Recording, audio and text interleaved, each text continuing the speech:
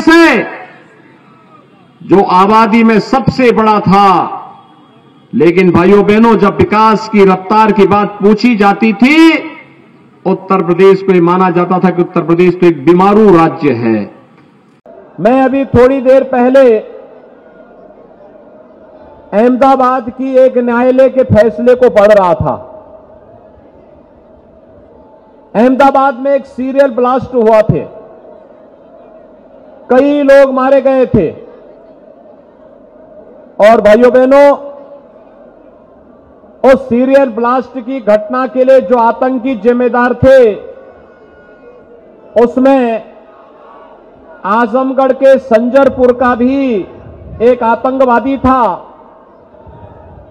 और इससे भी गंभीर बात है, उस आतंकवादी को आज वहाँ की माननीय न्यायालय ने मृत्युदंड की सजा दी है।